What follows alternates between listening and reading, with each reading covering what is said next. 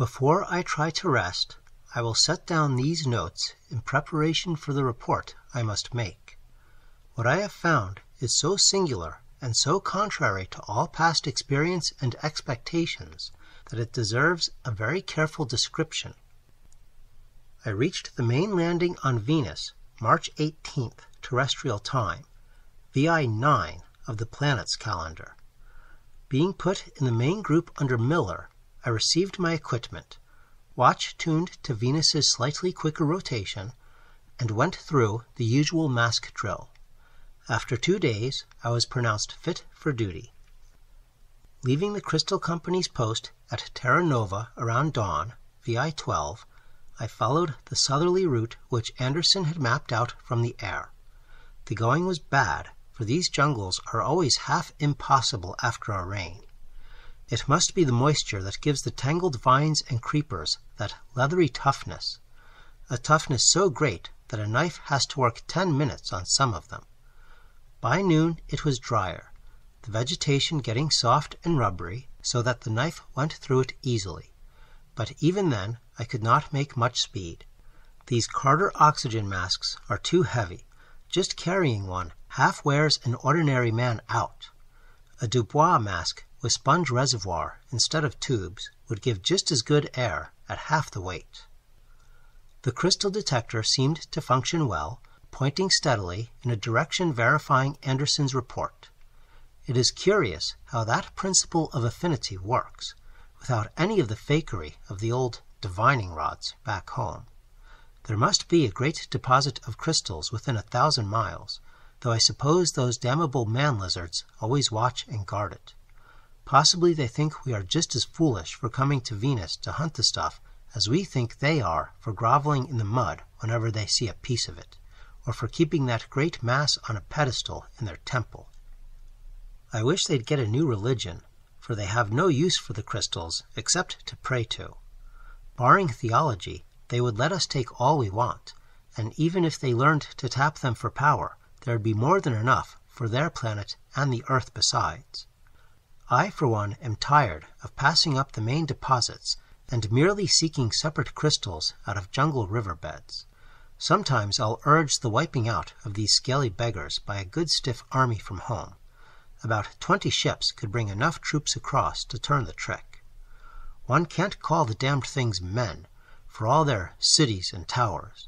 They haven't any skill except building, and using swords and poisoned darts and I don't believe their so-called cities mean much more than ant hills or beaver dams. I doubt if they even have a real language. All the talk about psychological communication through those tentacles down their chests strikes me as bunk. What misleads people is their upright posture, just an accidental physical resemblance to terrestrial man. I'd like to go through a Venus jungle for once without having to watch out for skulking groups of them or dodge their cursed darts. They may have been all right before we began to take the crystals, but they're certainly a bad enough nuisance now, with their dart shooting and their cutting of our water pipes. More and more I come to believe that they have a special sense like our crystal detectors. No one ever knew them to bother a man, apart from long distance sniping, who didn't have crystals on him. Around 1 p.m., a dart nearly took my helmet off and I thought for a second one of my oxygen tubes was punctured. The sly devils hadn't made a sound, but three of them were closing in on me. I got them all by sweeping in a circle with my flame pistol, for even though their color blended with the jungle, I could spot the moving creepers. One of them was fully eight feet tall, with a snout like a tapir's. The other two were average seven footers. All that makes them hold their own is sheer numbers. Even a single regiment of flamethrowers could raise hell with them. It is curious, though, how they've come to be dominant on the planet. Not another living thing higher than the wriggling Akmans and Skorahs or the flying Tukahs of the other continent. Unless, of course, those holes in the Dionaean plateau hide something.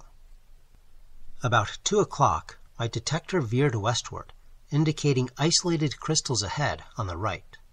This checked up with Anderson and I turned my course accordingly. It was harder going, not only because the ground was rising, but because the animal life and carnivorous plants were thicker. I was always slashing ugrats and stepping on skorahs, and my leather suit was all speckled from the bursting darohs which struck it from all sides. The sunlight was all the worse because of the mist, and did not seem to dry up the mud in the least. Every time I stepped, my feet sank down five or six inches, and there was a sucking sort of every time I pulled them out. I wish somebody would invent a safe kind of suiting other than leather for this climate. Cloth, of course, would rot, but some thin metallic tissue that couldn't tear, like the surface of this revolving decay-proof record scroll, ought to be feasible sometime. I ate about 3.30, if slipping these wretched food tablets through my mask can be called eating. Soon after that, I noticed a decided change in the landscape, the bright, poisonous-looking flowers shifting in color and getting wraith-like. The outlines of everything shimmered rhythmically, and bright points of light appeared and danced in the same slow, steady tempo. After that, the temperature seemed to fluctuate in unison with a peculiar rhythmic drumming. The whole universe seemed to be throbbing in deep, regular pulsations that filled every corner of space and flowed through my body and mind alike. I lost all sense of equilibrium and staggered dizzily, nor did it change things in the least when I shut my eyes and covered my ears with my hands. However, my mind was still clear, and in a very few minutes I realized what had happened. I had encountered at last one of those curious mirage plants about which so many of our men told stories. Anderson had warned me of them, and described their appearance very closely the shaggy stalk, the spiky leaves, and the mottled blossoms, whose gaseous, dream breeding exhalations penetrate every existing make of mask. Recalling what happened to Bailey three years ago, I fell into a momentary panic, and began to dash and stagger about in the crazy, chaotic world which the plant's exhalations had woven around me. Then good sense came back, and I realized all I need do was retreat from the dangerous blossoms, heading away from the source of the pulsations, and cutting a path blindly, regardless of what might seem to swirl around me, until safely out of the plant's effective radius. Although everything was spinning perilously, I tried to start in the right direction and hack my way ahead. My route must have been far from straight, for it seemed hours before I was free of the mirage plant's pervasive influence. Gradually, the dancing lights began to disappear, and the shimmering spectral scenery began to assume the aspect of solidity. When I did get wholly clear, I looked at my watch and was astonished to find that the time was only 4:20. Though eternities had seemed to pass, the whole experience could have consumed little more than a half hour. Every delay, however, was irksome, and I had lost ground in my retreat from the plant. I now pushed ahead in the uphill direction indicated by the crystal detector, bending every energy toward making better time. The jungle was still thick, though there was less animal life. Once a carnivorous blossom engulfed my right foot and held it so tightly that I had to hack it free with my knife, reducing the flower to strips before it let go. In less than an hour I saw that the jungle growths were thinning out, and by five o'clock, after passing through a belt of tree ferns with very little underbrush, I emerged on a broad, mossy plateau. My progress now became rapid, and I saw by the wavering of my detector needle that I was getting relatively close to the crystal I sought. This was odd, for most of the scattered egg-like spheroids occurred in jungle streams of a sort not likely to be found on this treeless upland. The terrain sloped upward, ending in a definite crest.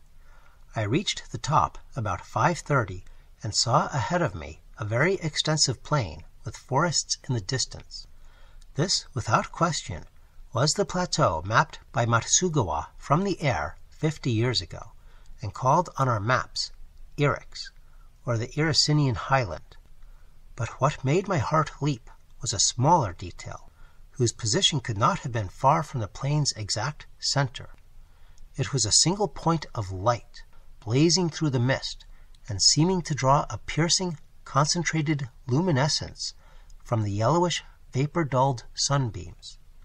This, without doubt, was the crystal I sought, a thing possibly no larger than a hen's egg, yet containing enough power to keep a city warm for a year.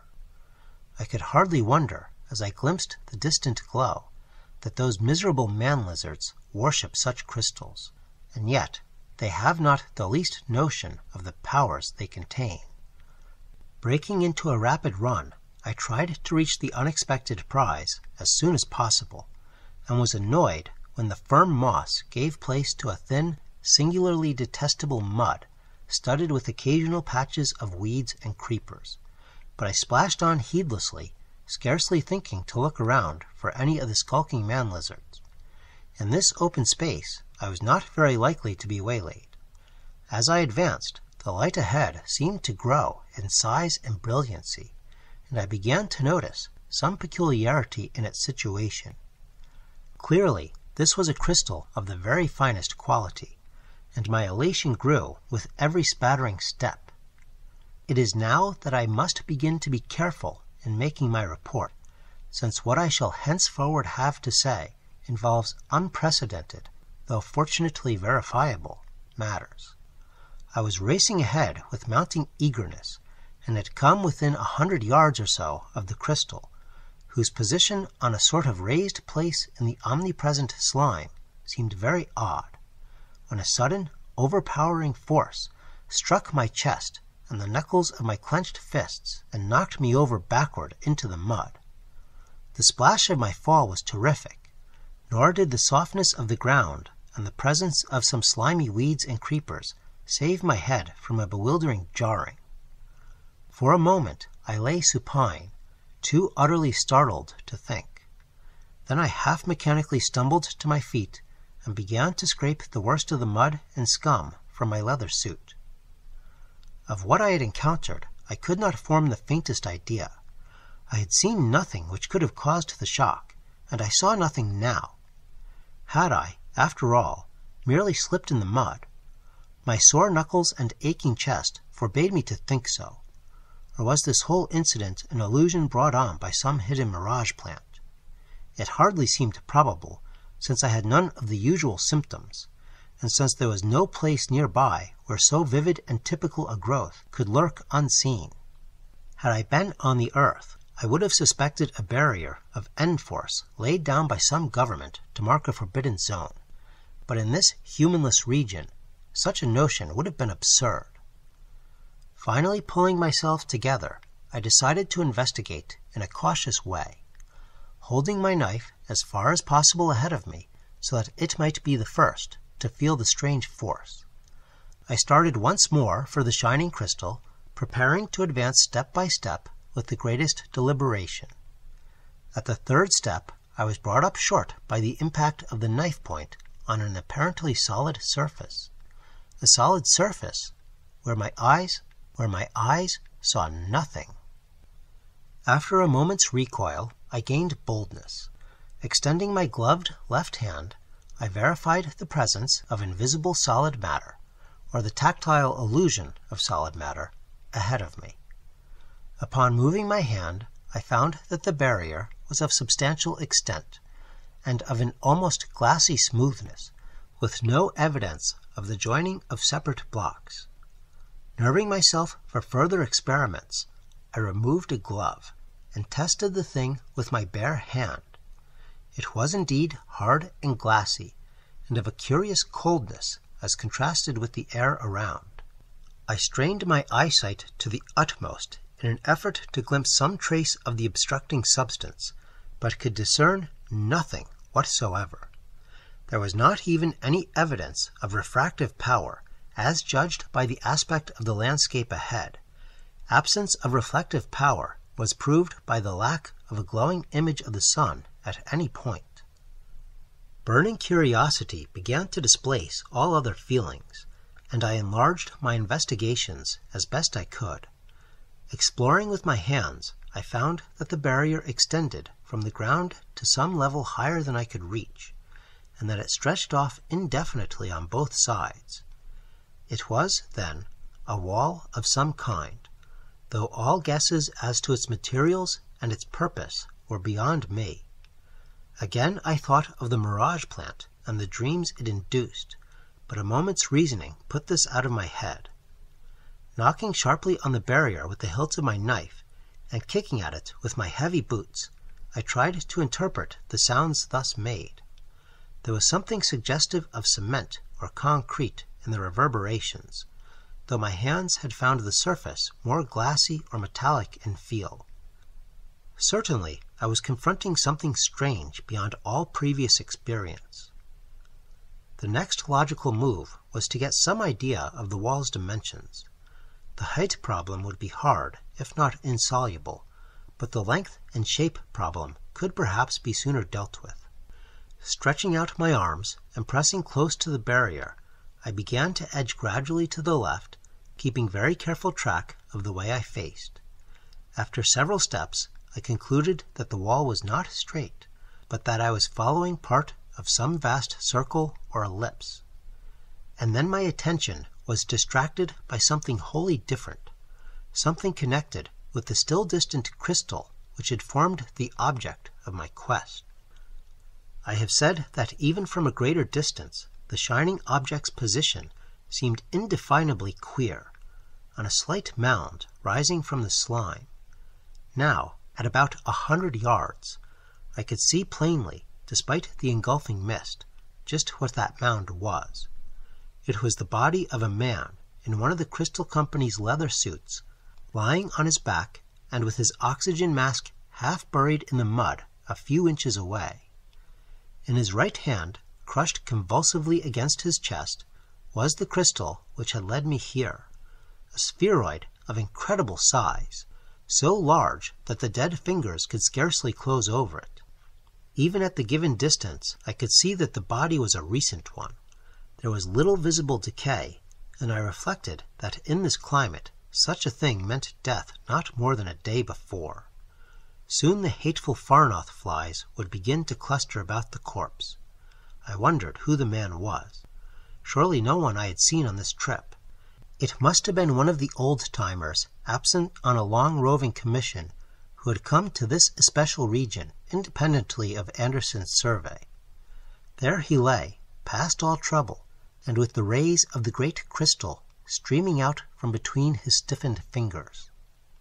For fully five minutes I stood there staring in bewilderment and apprehension. A curious dread assailed me, and I had an unreasonable impulse to run away. It could not have been done by those slinking man lizards, for he still held the crystal he had found. Was there any connection with the invisible wall? Where had he found the crystal? Anderson's instrument had indicated one in this quarter well before the man could have perished. I now began to regard the unseen barrier as something sinister, and recoiled from it with a shudder. Yet I knew I must probe the mystery all the more quickly and thoroughly because of this recent tragedy. Suddenly, wrenching my mind back to the problem I faced, I thought of a possible means of testing the wall's height or at least of finding whether or not it extended indefinitely upward. Seizing a handful of mud, I let it drain until it gained some coherence, and then flung it high in the air toward the utterly transparent barrier. At a height of perhaps fourteen feet, it struck the invisible surface with a resounding splash, disintegrating at once and oozing downward in disappearing streams with surprising rapidity. Plainly, the wall was a lofty one. A second handful, hurled at an even sharper angle, hit the surface about 18 feet from the ground and disappeared as quickly as the first. I now summoned up all my strength and prepared to throw a third handful as high as I possibly could. Letting the mud drain and squeezing it to maximum dryness, I flung it up so steeply that I feared it might not reach the obstructing surface at all. It did, however, and this time it crossed the barrier and fell in the mud beyond with a violent spattering. At last I had a rough idea of the height of the wall, for the crossing had evidently occurred some twenty or twenty-one feet aloft. With a 19 or 20 foot vertical wall of glassy flatness, ascent was clearly impossible. I must, then, continue to circle the barrier in the hope of finding a gate, an ending, or some sort of interruption. Did the obstacle form a complete round or other closed figure, or was it merely an arc or semicircle? Acting on my decision, I resumed my slow, leftward circling, moving my hands up and down over the unseen surface on the chance of finding some window or other small aperture. Before starting, I tried to mark my position by kicking a hole in the mud, but found the slime too thin to hold any impression. I did, though, gauge the place approximately by noting a tall cycad in the distant forest, which seemed just on a line with the gleaming crystal a hundred yards away. If no gate or break existed, I could now tell when I had completely circumnavigated the wall. I had not progressed far before I decided that the curvature indicated a circular enclosure of about a hundred yards inner diameter, provided the outline was regular. This would mean that the dead man lay near the wall at a point almost opposite the region where I had started. Was he just inside or just outside the enclosure? This I would soon ascertain. As I slowly rounded the barrier, without finding any gate, window, or other break, I decided that the body was lying within. On closer view, the features of the dead man seemed vaguely disturbing. I found something alarming in his expression and in the way the glassy eyes stared.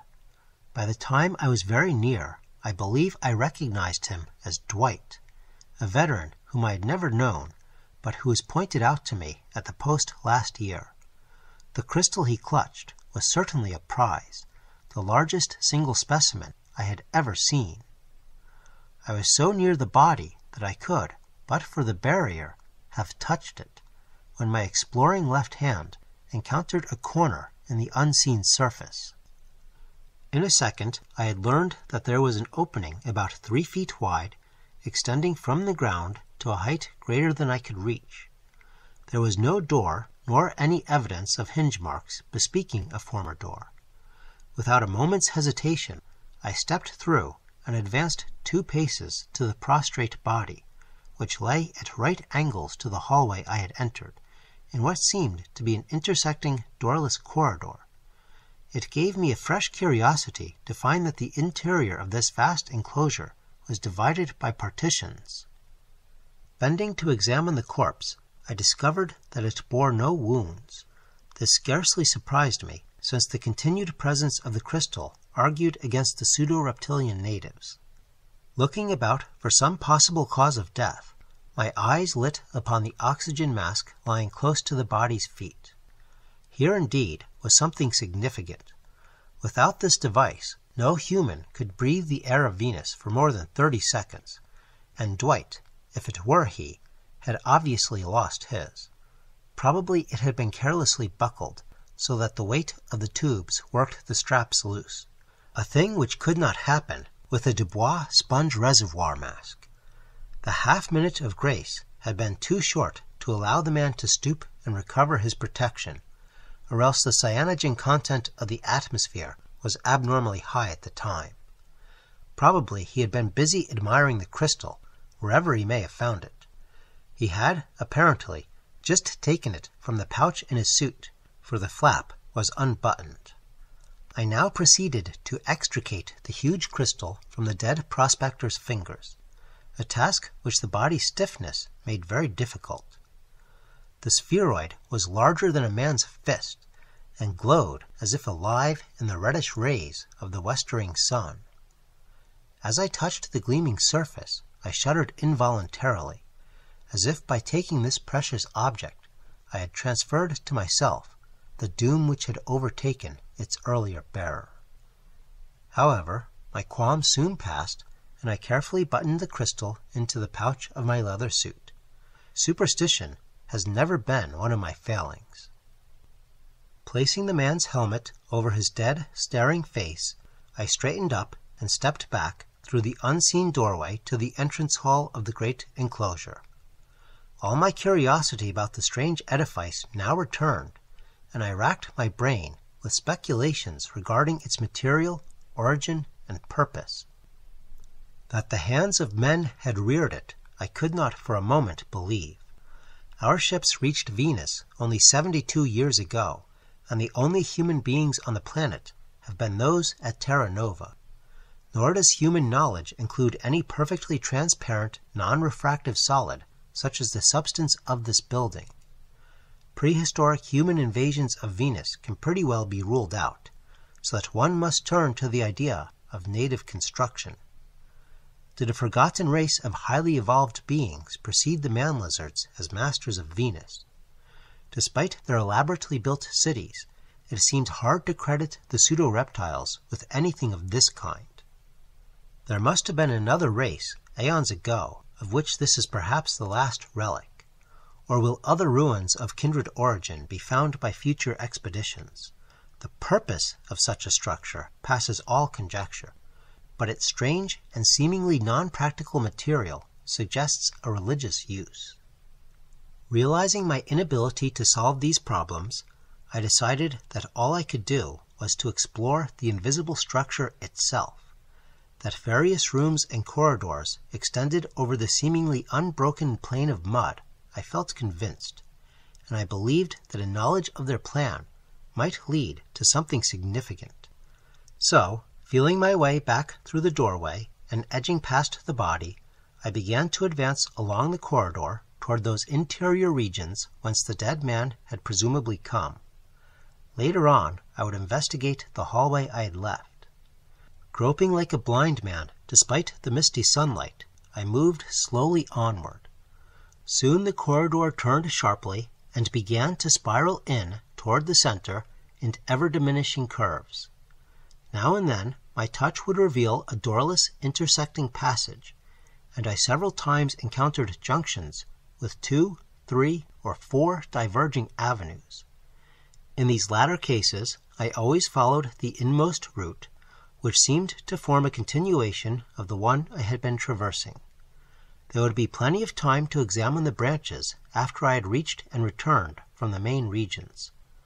I can scarcely describe the strangeness of the experience, threading the unseen ways of an invisible structure reared by forgotten hands on an alien planet. At last, still stumbling and groping, I felt the corridor end in a sizable open space. Fumbling about, I found I was in a circular chamber about ten feet across, and from the position of the dead man against certain distant forest landmarks, I judged that this chamber lay at or near the center of the edifice. Out of it opened five corridors besides the one through which I had entered, but I kept the latter in mind by sighting very carefully past the body to a particular tree on the horizon as I stood just within the entrance. There was nothing in this room to distinguish it, merely the floor of thin mud which was everywhere present. Wondering whether this part of the building had any roof, I repeated my experiment with an upward flung handful of mud, and found at once that no covering existed. If there had ever been one, it must have fallen long ago, for not a trace of debris or scattered blocks ever halted my feet. As I reflected, it struck me as distinctly odd that this apparently primordial structure should be so devoid of tumbling masonry, gaps in the walls, and other common attributes of dilapidation. What was it? What had it ever been? And what was it made of? Why was there no evidence of separate blocks in the glassy, bafflingly homogeneous walls? Why were there no traces of doors, either interior or exterior? I knew only that I was in a round, roofless, doorless edifice of some hard, smooth, perfectly transparent, non-refractive, and non-reflective material, a hundred yards in diameter, with many corridors, and a small circular room at the center. More than this I could never learn from a direct investigation. I now observed that the sun was sinking very low in the west, a golden ruddy disk floating in a pool of scarlet and orange above the mist clouded trees of the horizon. Plainly, I would have to hurry if I expected to choose a sleeping spot on dry ground before dark. I had long before decided to camp for the night on the firm, mossy rim of the plateau, near the crest whence I had first spied the shining crystal, trusting to my usual luck to save me from an attack by the man lizards. It has always been my contention that we ought to travel in parties of two or more, so that someone can be on guard during sleeping hours, but the really small number of night attacks makes the company careless about such things. Those scaly wretches seem to have difficulty in seeing at night, even with curious glow torches. Having picked out again the hallway through which I had come, I started to return to the structure's entrance. Additional exploration could wait for another day. Groping a course as best I could through the spiral corridor, with only general sense, memory, and a vague recognition of some ill defined weed patches on the plain as guides, I soon found myself once more in close proximity to the corpse. There were now one or two Farnoth flies swooping over the helmet covered face, and I knew that decay was setting in. With a futile, instinctive loathing, I raised my hand to brush away this vanguard of the scavengers, when a strange and astonishing thing became manifest. An invisible wall, checking the sweep of my arm, told me that Notwithstanding my careful retracing of the way, I had not, indeed, returned to the corridor in which the body lay. Instead, I was in a parallel hallway, having no doubt taken some wrong turn or fork among the intricate passages behind. Hoping to find a doorway to the exit hall ahead, I continued my advance, but presently came to a blank wall. I would, then, have to return to the central chamber and steer my course anew. Exactly where I had made my mistake I could not tell. I glanced at the ground to see if by any miracle guiding footprints had remained, but at once realized that the thin mud held impressions only for a very few moments. There was little difficulty in finding my way to the center again, and once there I carefully reflected on the proper outward course. I had kept too far to the right before. This time I must take a more leftward fork somewhere. Just where, I could decide as I went. As I groped ahead a second time, I felt quite confident of my correctness, and diverged to the left at a junction I was sure I remembered. The spiraling continued, and I was careful not to stray into any intersecting passages. Soon, however, I saw to my disgust that I was passing the body at a considerable distance. This passage evidently reached the outer wall at a point much beyond it. In the hope that another exit might exist in the half of the wall I had not yet explored, I pressed forward several paces, but eventually came once more to a solid barrier. Clearly the plan of the building was even more complicated than I had thought. I now debated whether to return to the center again or whether to try some of the lateral corridors extending toward the body. If I chose this second alternative, I would run the risk of breaking my mental pattern of where I was, hence I had better not attempt it unless I could think of some way of leaving a visible trail behind me. Just how to leave a trail would be quite a problem, and I ransacked my mind for a solution. There seemed to be nothing about my person which could leave a mark on anything, nor any material which I could scatter or minutely subdivide and scatter. My pen had no effect on the invisible wall, and I could not lay a trail of my precious food tablets. Even had I been willing to spare the latter, there would not have been nearly enough, besides which the small pellets would have instantly sunk from sight in the thin mud.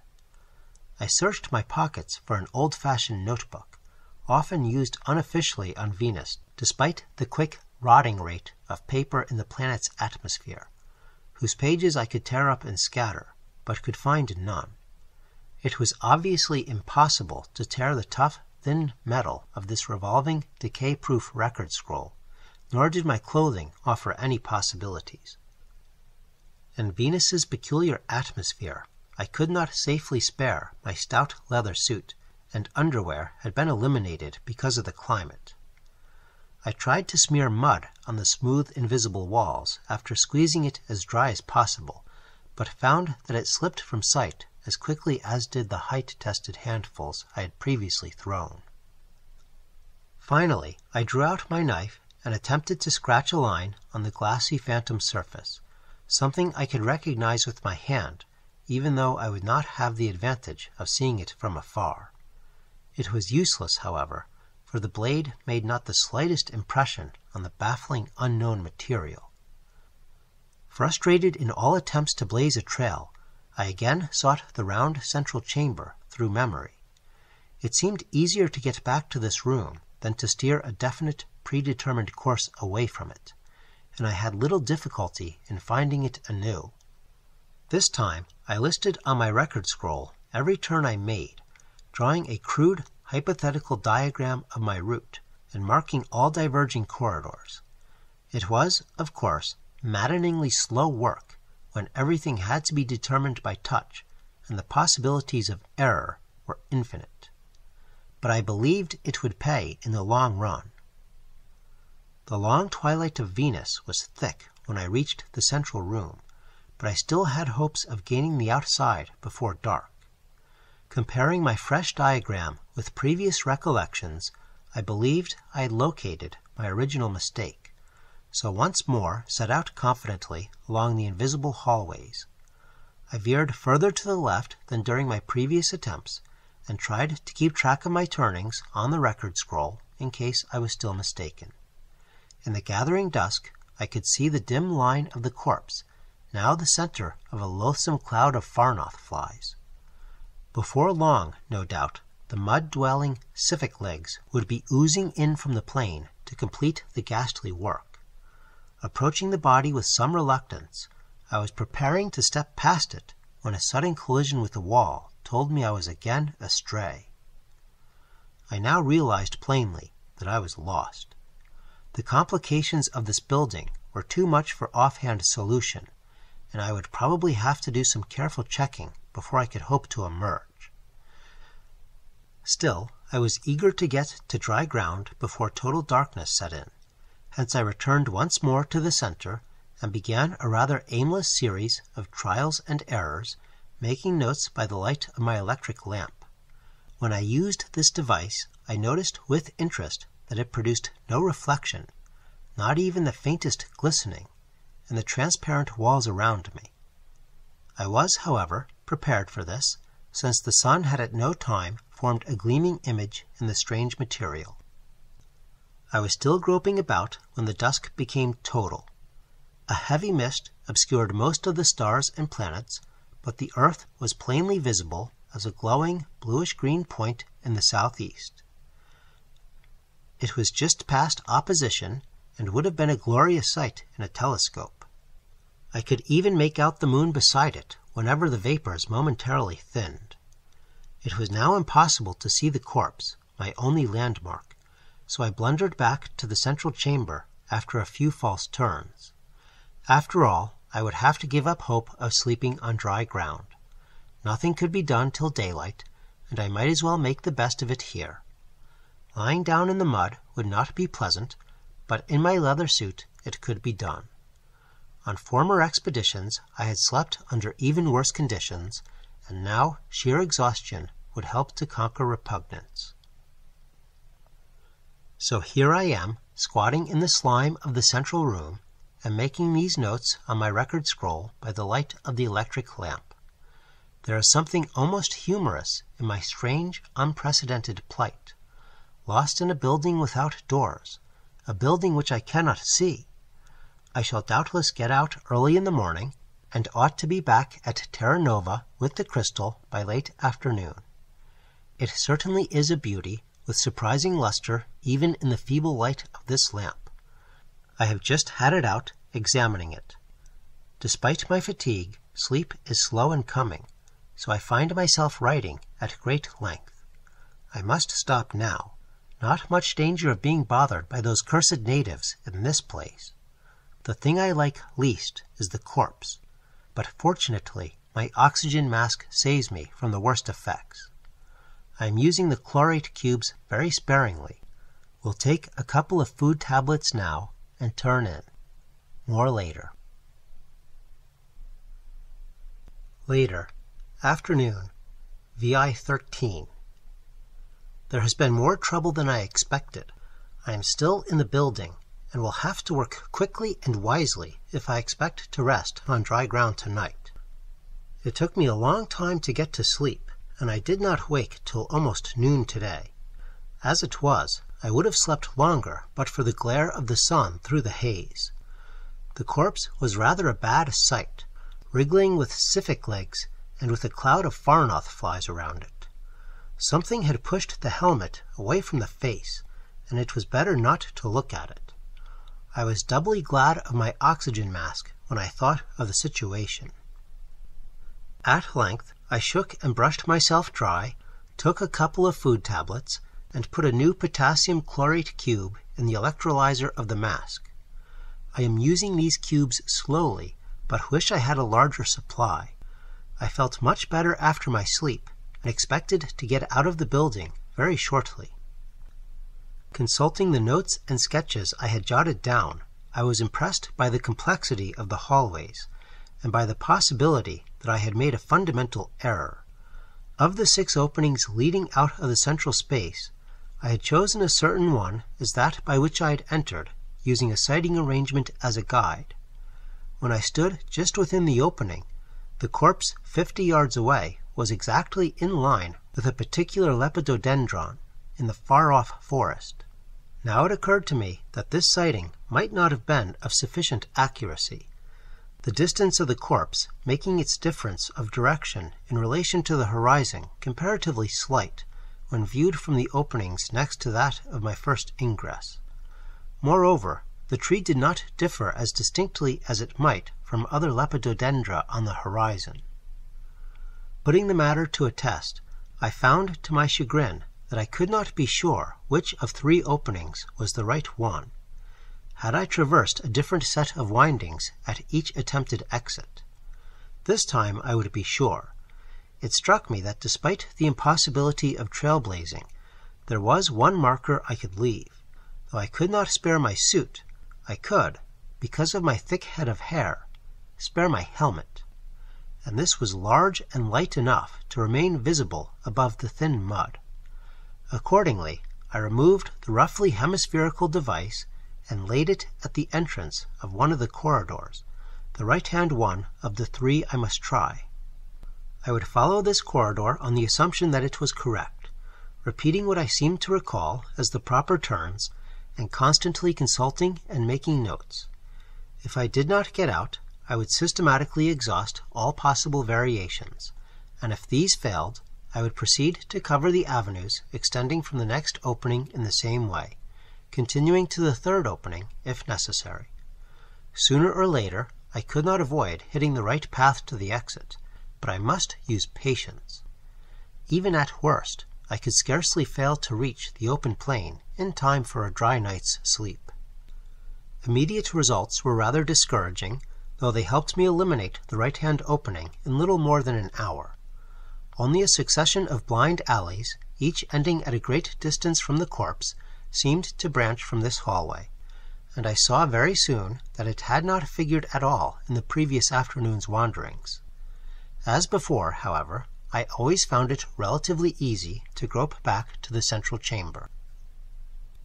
About 1 p.m. I shifted my helmet marker to the next opening and began to explore the hallways beyond it. At first, I thought I recognized the turnings, but soon found myself in a wholly unfamiliar set of corridors. I could not get near the corpse, and this time seemed cut off from the central chamber as well, even though I thought I had recorded every move I made. There seemed to be tricky twists and crossings too subtle for me to capture in my crude diagrams, and I began to develop a kind of mixed anger and discouragement. While patience would, of course, win in the end, I saw that my searching would have to be minute, tireless, and long continued.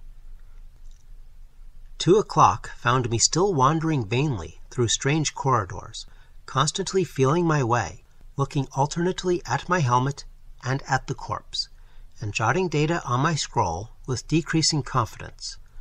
I cursed the stupidity and idle curiosity which had drawn me into this tangle of unseen walls, reflecting that if I had let the thing alone, and headed back as soon as I had taken the crystal from the body, I would even now be safe at Terra Nova.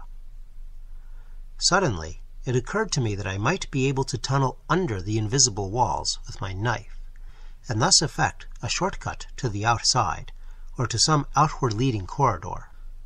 I had no means of knowing how deep the building's foundations were, but the omnipresent mud argued the absence of any floor save the earth. Facing the distant and increasingly horrible corpse, I began a course of feverish digging with a broad, sharp blade. There was about six inches of semi-liquid mud, below which the density of the soil increased sharply. This lower soil seemed to be of a different color, a grayish clay rather like the formations near Venus's north pole. As I continued downward close to the unseen barrier, I saw that the ground was getting harder and harder. Watery mud rushed into the excavation as fast as I removed the clay, but I reached through it and kept on working. If I could bore any kind of passage beneath the wall, the mud would not stop my wriggling out. About three feet down, however, the hardness of the soil halted my digging seriously. Its tenacity was beyond anything I had encountered before, even on this planet, and was linked with an anomalous heaviness. My knife had to split and chip the tightly packed clay, and the fragments I brought up were like solid stones or bits of metal. Finally, even this splitting and chipping became impossible, and I had to cease my work with no lower edge of wall in reach. The hour long attempt was a wasteful as well as futile one, for it used up great stores of my energy and forced me both to take an extra food tablet and to put an additional chlorate cube in the oxygen mask. It had also brought a pause to the day's gropings, for I am still much too exhausted to walk. After cleaning my hands and arms of the worst of the mud, I sat down to write these notes, leaning against an invisible wall and facing away from the corpse. That body is simply a writhing mass of vermin now. The odor has begun to draw some of the slimy akmans from the far-off jungle. I notice that many of the efjeh weeds on the plain are reaching out necrophagous feelers toward the thing, but I doubt if any are long enough to reach it. I wish some really carnivorous organisms like the skorahs would appear, for then they might scent me and wriggle a course through the building toward me. Things like that have an odd sense of direction. I could watch them as they came and jot down their approximate route if they failed to form a continuous line. Even that would be a great help. When I met any, the pistol would make short work of them. But I can hardly hope for as much as that. Now that these notes are made, I shall rest a while longer, and later will do some more groping. As soon as I get back to the central chamber, which ought to be fairly easy, I shall try the extreme left-hand opening. Perhaps I can get outside by dusk after all. Night, VI 13. New trouble. My escape will be tremendously difficult, for there are elements I had not suspected. Another night here in the mud, and a fight on my hands tomorrow. I cut my rest short, and was up and groping again by four o'clock. After about fifteen minutes I reached the central chamber and moved my helmet to mark the last of the three possible doorways. Starting through this opening, I seemed to find the going more familiar, but was brought up short in less than five minutes by a sight that jolted me more than I can describe. It was a group of four or five of those detestable man lizards emerging from the forest far across the plain. I could not see them distinctly at that distance, but thought they paused and turned toward the trees to gesticulate, after which they were joined by fully a dozen more. The augmented party now began to advance directly toward the invisible building and as they approached I studied them carefully. I had never before had a close view of the things outside the steamy shadows of the jungle. The resemblance to reptiles was perceptible, though I knew it was only an apparent one, since these beings have no point of contact with terrestrial life. When they drew nearer they seemed less truly reptilian. only the flat head and the green, slimy, frog-like skin carrying out the idea. They walked erect on their odd, thick stumps, and their suction discs made curious noises in the mud. These were average specimens, about seven feet in height, and with four long, ropey pectoral tentacles. The motions of those tentacles, if the theories of Fogg, Ekberg, and Janat are right, which I formerly doubted, but am now more ready to believe, indicated that the things were in animated conversation. I drew my flame pistol and was ready for a hard fight. The odds were bad, but the weapon gave me a certain advantage. If the things knew this building, they would come through it after me, and in this way would form a key to getting out, just as carnivorous skorahs might have done. That they would attack me seemed certain, for even though they could not see the crystal in my pouch, they could divine its presence through that special sense of theirs. Yet, surprisingly enough, they did not attack me. Instead, they scattered and formed a vast circle around me, at a distance which indicated that they were pressing close to the unseen wall. Standing there in a ring, the beings stared silently and inquisitively at me, waving their tentacles and sometimes nodding their heads and gesturing with their upper limbs. After a while I saw others issue from the forest, and these advanced and joined the curious crowd. Those near the corpse looked briefly at it, but made no move to disturb it. It was a horrible sight, yet the man lizards seemed quite unconcerned. Now and then one of them would brush away the Farnoth flies with its limbs or tentacles, or crush a wriggling sificligh or akman, or an outreaching efjeh weed with the suction discs on its stumps. Staring back at these grotesque and unexpected intruders, and wondering uneasily why they did not attack me at once, I lost for the time being the willpower and nervous energy to continue my search for a way out. Instead, I leaned limply against the invisible wall of the passage where I stood, letting my wonder merge gradually into a chain of the wildest speculations. A hundred mysteries which had previously baffled me seemed all at once to take on a new and sinister significance, and I trembled with an acute fear unlike anything I had experienced before. I believed I knew why these repulsive beings were hovering expectantly around me. I believed, too, that I had the secret of the transparent structure at last. The alluring crystal which I had seized the body of the man who had seized it before me, all these things began to acquire a dark and threatening meaning. It was no common series of mischances which had made me lose my way in this roofless, unseen tangle of corridors. Far from it. Beyond doubt, the place was a genuine maze, a labyrinth deliberately built by these hellish beings whose craft and mentality I had so badly underestimated. Might I not have suspected this before knowing of their uncanny architectural skill. The purpose was all too plain. It was a trap, a trap set to catch human beings, with the crystal spheroid as bait. These reptilian things, in their war on the takers of crystals, had turned to strategy and were using our own cupidity against us. Dwight, if this rotting corpse were indeed he, was a victim. He must have been trapped some time ago, and had failed to find his way out. Lack of water had doubtless maddened him, and perhaps he had run out of chlorate cubes as well. Probably his mask had not slipped accidentally after all. Suicide was a likelier thing. Rather than face a lingering death, he had solved the issue by removing the mask deliberately and letting the lethal atmosphere do its work at once. The horrible irony of his fate lay in his position, only a few feet from the saving exit he had failed to find. One minute more of searching and he would have been safe. And now I was trapped as he had been. Trapped and with this circling herd of curious starers to mock at my predicament. The thought was maddening, and as it sank in, I was seized with a sudden flash of panic which set me running aimlessly through the unseen hallways. For several moments I was essentially a maniac, stumbling, tripping, bruising myself on the invisible walls, and finally collapsing in the mud as a panting, lacerated heap of mindless, bleeding flesh.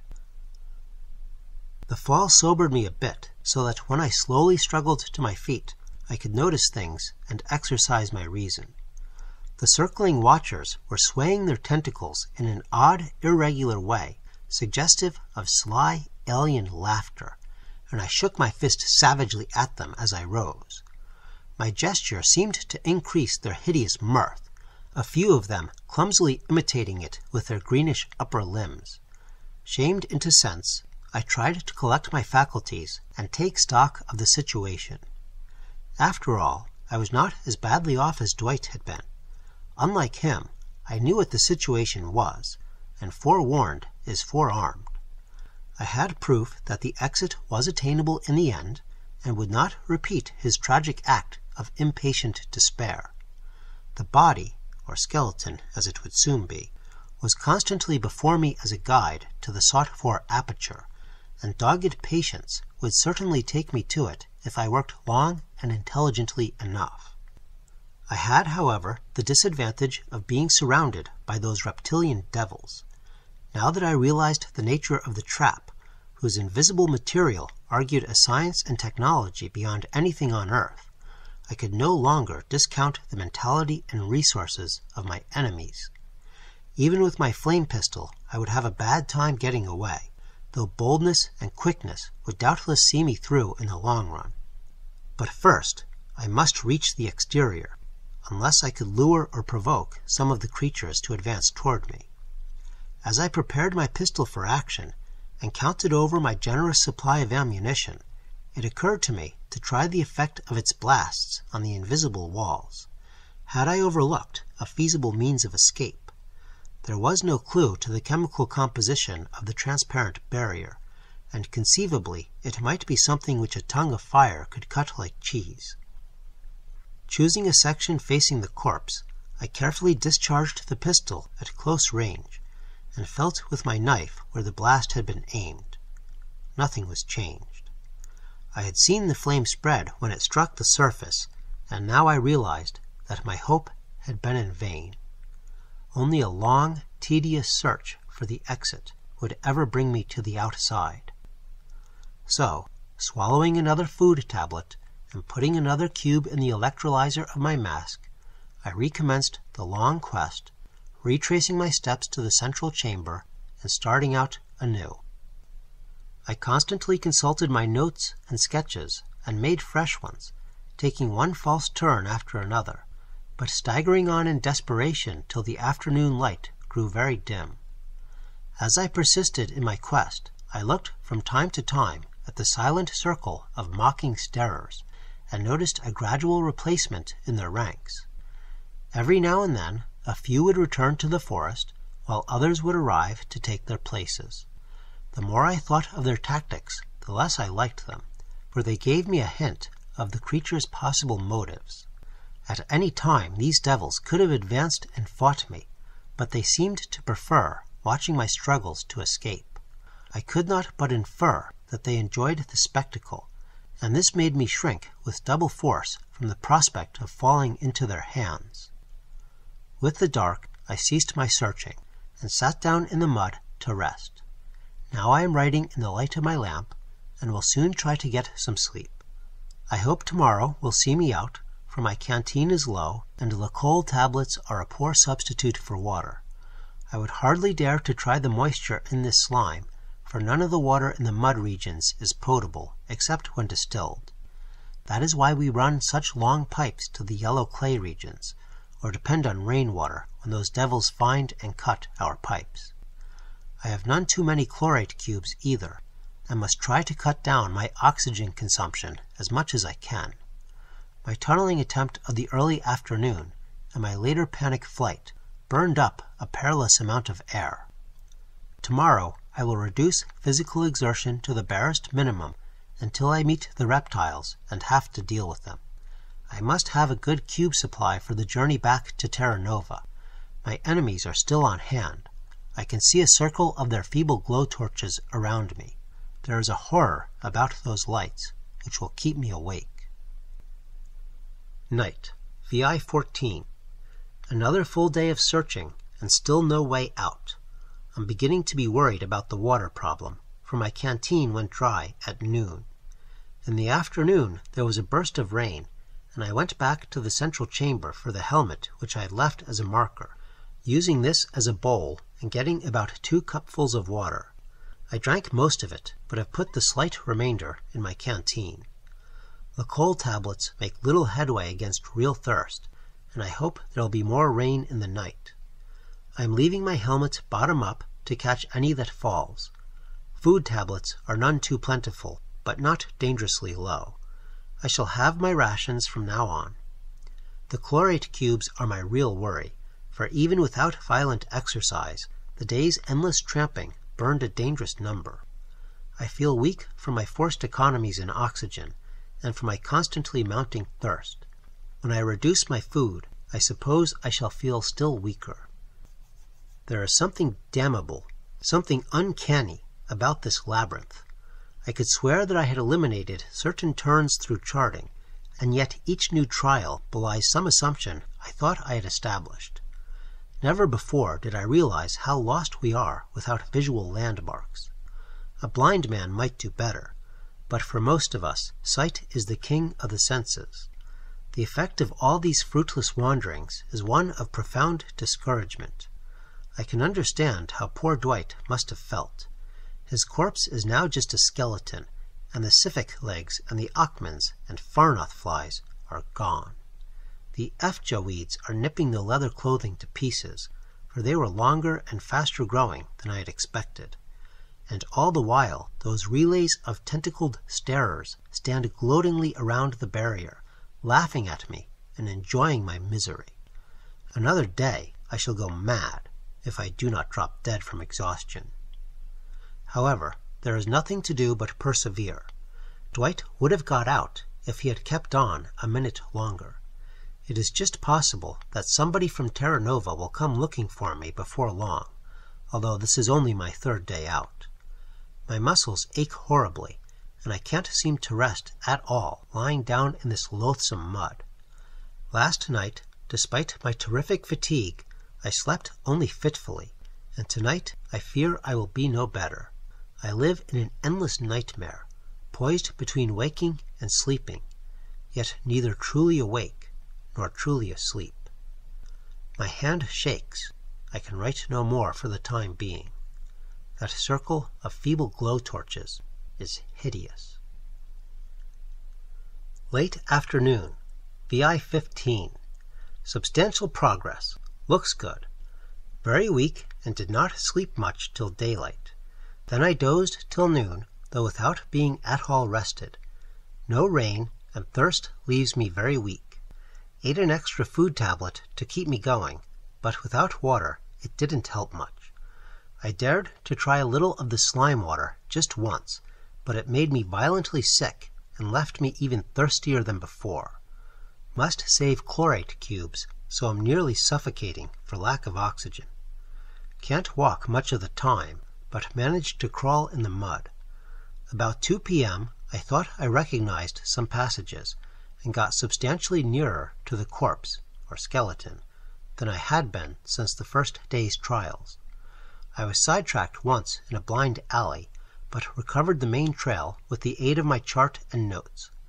The trouble with these jottings is that there are so many of them. They must cover three feet of the record scroll, and I have to stop for long periods to untangle them. My head is weak from thirst, suffocation, and exhaustion, and I cannot understand all I have set down. Those damnable green things keep staring and laughing with their tentacles, and sometimes they gesticulate in a way that makes me think that they share some terrible joke just beyond my perception. It was three o'clock when I really struck my stride. There was a doorway which, according to my notes, I had not traversed before and when I tried it, I found I could crawl circuitously toward the weed-twined skeleton. The route was a sort of spiral, much like that by which I had first reached the central chamber. Whenever I came to a lateral doorway or junction, I would keep to the course which seemed best to repeat that original journey. As I circled nearer and nearer to my gruesome landmark, the watchers outside intensified their cryptic gesticulations and sardonic silent laughter. Evidently they saw something grimly amusing in my progress, perceiving no doubt how helpless I would be in any encounter with them. I was content to leave them to their mirth, for although I realized my extreme weakness, I counted on the flame pistol and its numerous extra magazines to get me through the vile reptilian phalanx. Hope now soared high, but I did not attempt to rise to my feet. Better to crawl now and save my strength for the coming encounter with the man lizards. My advance was very slow, and the danger of straying into some blind alley very great, but none the less I seemed to curve steadily toward my osseous goal. The prospect gave me new strength, and for the nonce I ceased to worry about my pain my thirst, and my scant supply of cubes. The creatures were now all massing around the entrance, gesturing, leaping, and laughing with their tentacles.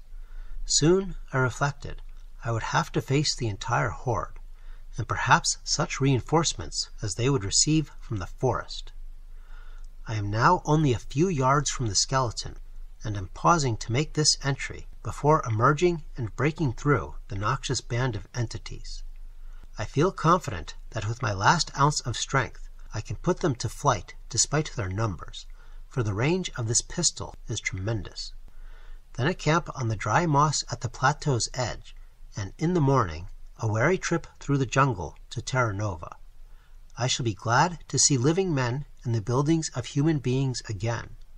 The teeth of that skull gleam and grin horribly. Toward night. VI 15 Horror and despair. Baffled again. After making the previous entry, I approached still closer to the skeleton, but suddenly encountered an intervening wall. I had been deceived once more, and was apparently back where I had been three days before, on my first futile attempt to leave the labyrinth. Whether I screamed aloud, I do not know. Perhaps I was too weak to utter a sound. I merely lay dazed in the mud for a long period, while the greenish things outside leaped and laughed and gestured. After a time I became more fully conscious. My thirst and weakness and suffocation were fast gaining on me, and with my last bit of strength I put a new cube in the electrolyzer, recklessly and without regard for the needs of my journey to Terra Nova. The fresh oxygen revived me slightly, and enabled me to look about more alertly. It seemed as if I were slightly more distant from poor Dwight than I had been at that first disappointment, and I dully wondered if I could be in some other corridor a trifle more remote. With this faint shadow of a hope, I laboriously dragged myself forward, but after a few feet encountered a dead end as I had on the former occasion. This, then, was the end. Three days had taken me nowhere, and my strength was gone. I would soon go mad from thirst, and I could no longer count on cubes enough to get me back. I feebly wondered why the nightmare things had gathered so thickly around the entrance as they mocked me. Probably this was part of the mockery, to make me think I was approaching an egress which they knew did not exist. I shall not last long, though I am resolved not to hasten matters as Dwight did. His grinning skull has just turned toward me, shifted by the groping of one of the efjeh weeds that are devouring his leather suit. The ghoulish stare of those empty eye sockets is worse than the staring of those lizard horrors. It lends a hideous meaning to that dead, white-toothed grin. I shall lie very still in the mud and save all the strength I can.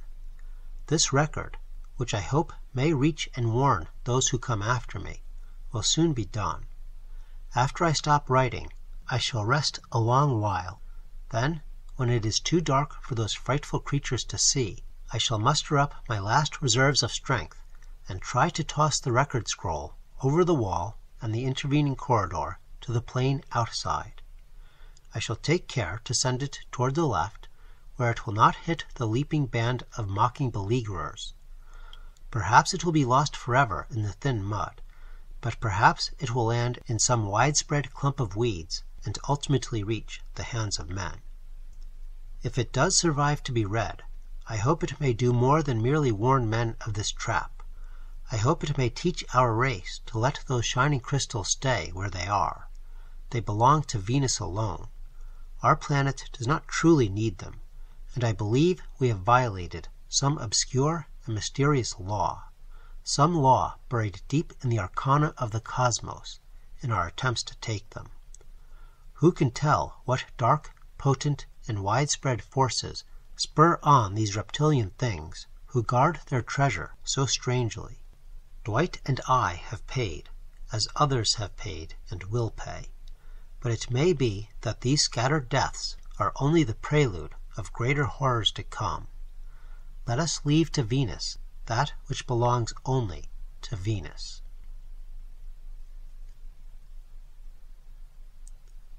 I am very near death now, and fear I may not be able to throw the scroll when dusk comes.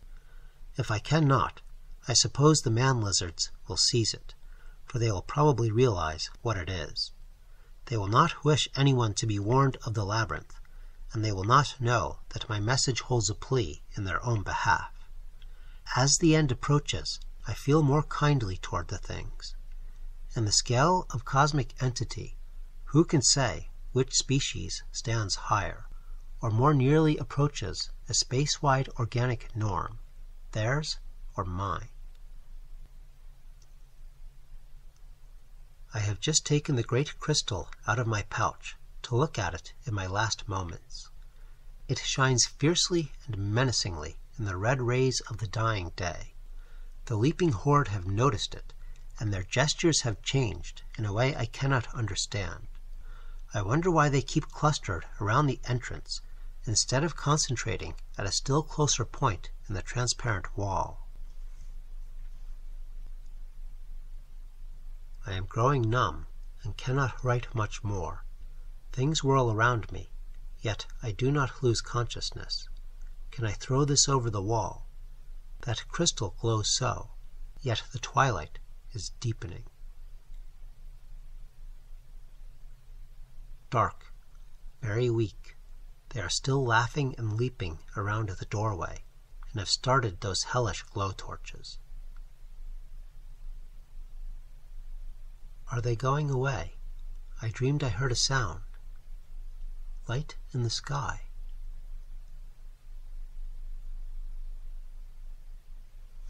Report of Wesley P. Miller, Support Group A, Venus Crystal Company. Terra Nova on Venus, VI 16. Our operative A49, Kenton J. Stanfield, of 5317 Marshall Street, Richmond, Virginia, left Terra Nova early on VI 12 for a short term trip indicated by detector, due back on 13th or 14th. Did not appear by evening of 15th, so scouting plane FR 58 with five men under my command set out at 8 p.m. to follow the route with detector. Needle showed no change from earlier readings.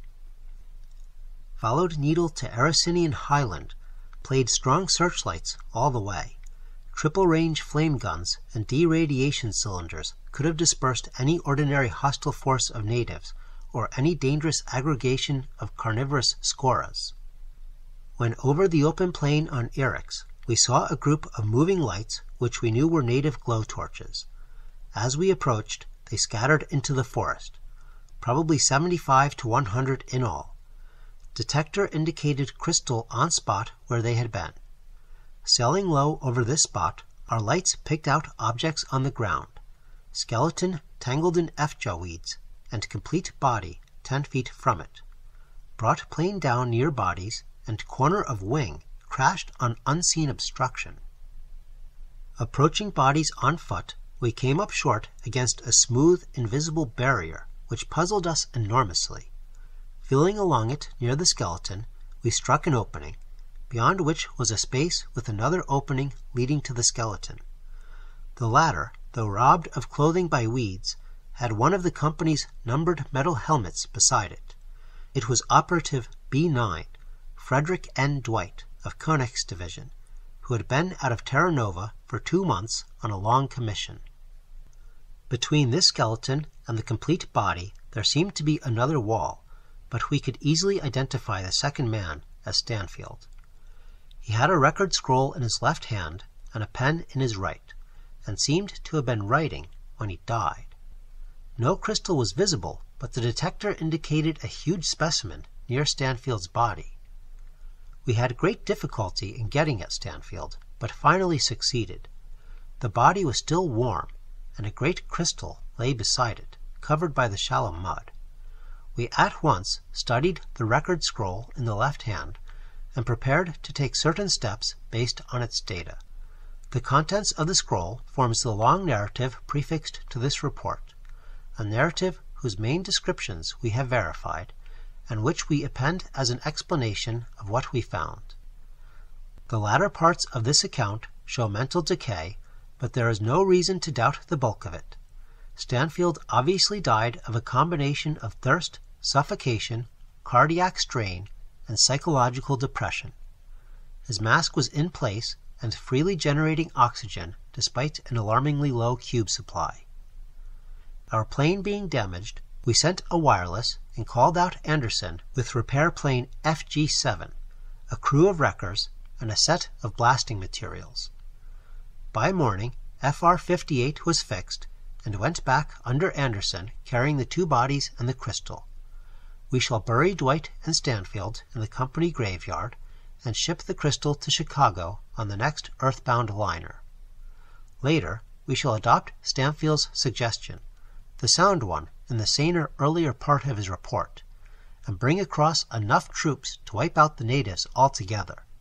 With a clear field, there can be scarcely any limit to the amount of crystal we can secure. In the afternoon, we studied the invisible building or trap with great care, exploring it with the aid of long guiding cords and preparing a complete chart for our archives. We were much impressed by the design and shall keep specimens of the substance for chemical analysis. All such knowledge will be useful when we take over various cities of the natives. Our Type C diamond drills were able to bite into the unseen material, and wreckers are now planting dynamite preparatory to a thorough blasting. Nothing will be left when we are done. The edifice forms a distinct menace to aerial and other possible traffic. In considering the plan of the labyrinth, one is impressed not only with the irony of Dwight's fate, but with that of Stanfield's as well. When trying to reach the second body from the skeleton, we could find no access on the right, but Markheim found a doorway from the first inner space some fifteen feet past Dwight and four or five past Stanfield. Beyond this was a long hall which we did not explore till later, but on the right hand side of that hall was another doorway leading directly to the body. Stanfield could have reached the outside entrance by walking 22 or 23 feet if he had found the opening which lay directly behind him, an opening which he overlooked in his exhaustion and despair.